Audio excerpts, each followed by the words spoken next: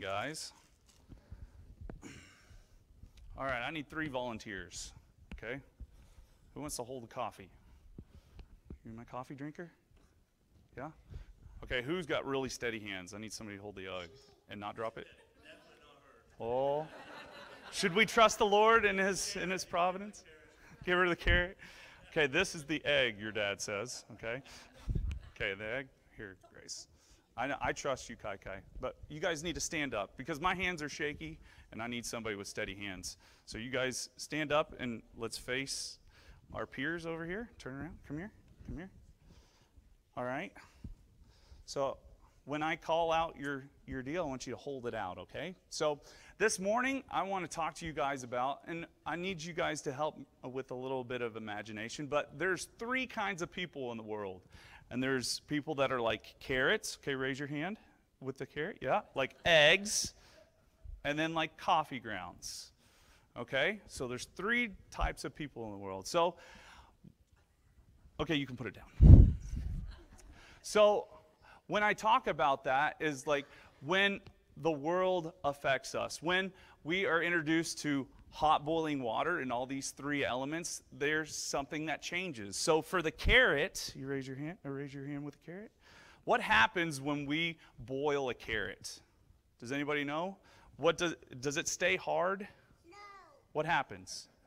We cut it. You cut it and it gets what is it squishy? Yeah, it's squishy. Oh, good call, Dad. okay, okay, but something happens to the opposite. Grace, hold your egg. What happens when we boil an egg? Crack it. It gets hard, right? It's it doesn't get squishy anymore, it gets hard. But then for the adults, what happens when we do the hot water in the coffee grounds? It makes a pleasing aroma, right? It, it changes that water and it turns it into something that is desirable, right? So if you guys think of this morning as the hot water, that the trials and the tribulations that happen in our lives. So when we are like the people that are like carrots, okay, raise your, raise it up, yeah.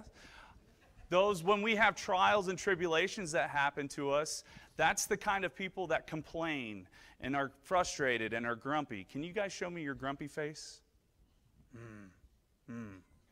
Yeah, you guys are never grumpy, right? You've never complained or annoyed at anything. No?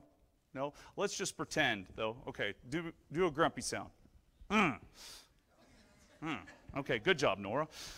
All right, but then for the egg, when, it, when trials and tribulations come, that we get hard. So that means we get angry with God, or that we get angry with. Show me you guys as your angry face. Arr. Stern, right. it can be annoyed. Yeah, we can be annoyed and angry at the same time. But, but those that we are called that we are Christians, when trials and tribulations comes our way, with the coffee grounds, raising them up. So just like when, whenever here in the next few minutes, the pleasing aroma of the coffee that fills the room here, those that are Christians that are in Christ, when trials come and they come through us, that it, it's an opportunity for us to to minister to those around us. That the pleasing aroma of Christ that is in our hearts, that it transforms and it changes the room. So, after all these three, which one would you guys want to be? Do you want to be the, the carrot, the egg, or the coffee grounds? Me, me, carrot.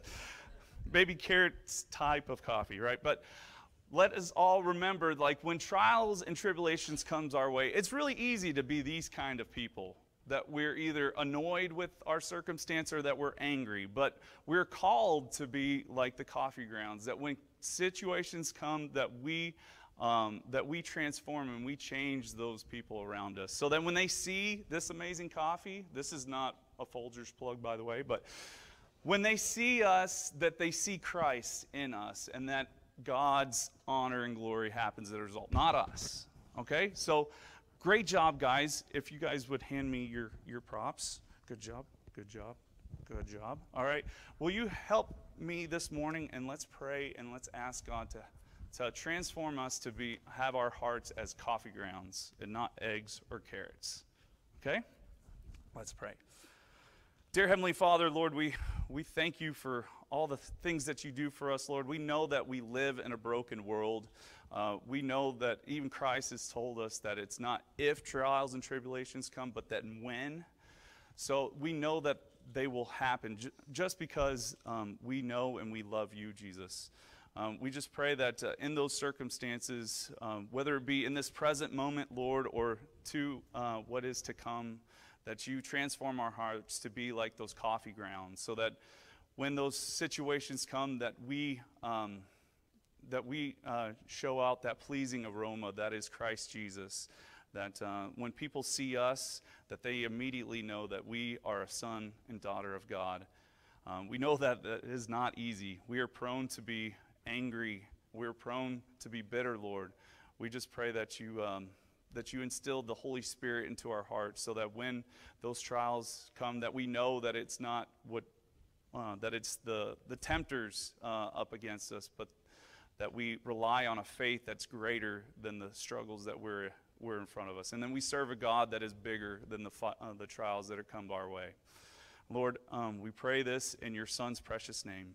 And all God's kids say, Amen. Amen.